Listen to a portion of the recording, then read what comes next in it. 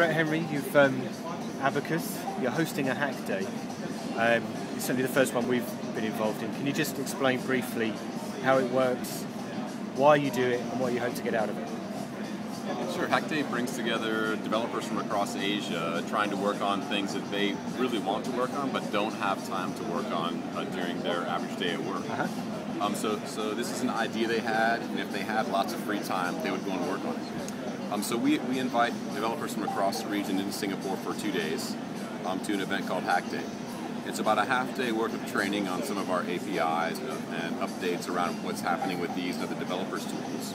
And then we cut them loose to, to develop on an idea and actually code on something that they wanted to spend time on. Uh, so they have 24 hours to actually write code, and after 24 hours, they actually have to demo whatever that idea is. Not in PowerPoint, but actually show functionally mm-hmm. what they've actually coded. And, and the idea around this 24 hour constraint is when you, when you put constraints on a system, people really innovate.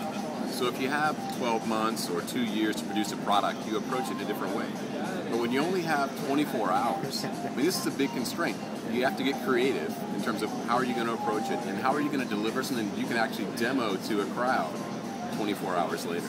Um, so it's this idea of constraining the system with time that, that I think helps encourage innovation that you couldn't get otherwise. Okay, and what do you give them in terms of the API? Just basically, what, what is it you give them and say, have a play with this? What do you, what do, you do? A lot of these developers already are, are well experienced. They're just getting an update on what's the latest in terms of our enhancements to the API. But some may be brand new, and we're giving them kind of boot camp training 101. Yeah. How do you work with and, and use the tools that we have to help the, the developers to ride around our systems? Okay, and um, uh, this morning when it kicked off, I met last year's winner, Ah. who's, who's, who's returned again. He obviously From Thailand. Yes, Yeah, yeah. yes, he's obviously in, in, enjoyed the, uh, the the event.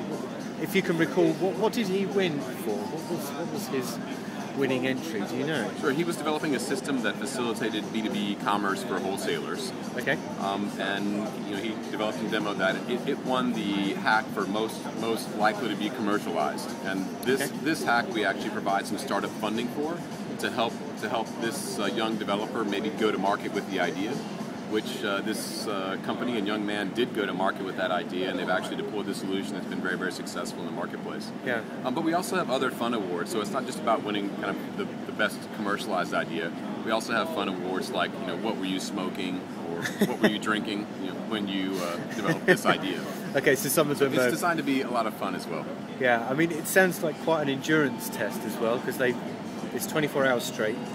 What do you feed them? What do you give them to sustain their energy levels? Combination of Or is it just enthusiasm lots and- lots of Red Bull, lots and lots of food, and we also provide video games. So sometimes they're Okay. uh, playing video games, Xbox or Wii.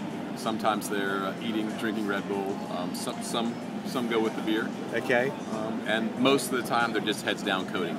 great stuff. Thank you very much, and we'll see the results tomorrow. Excellent. All right, great. Thank Thanks, you. Kevin. See you tomorrow.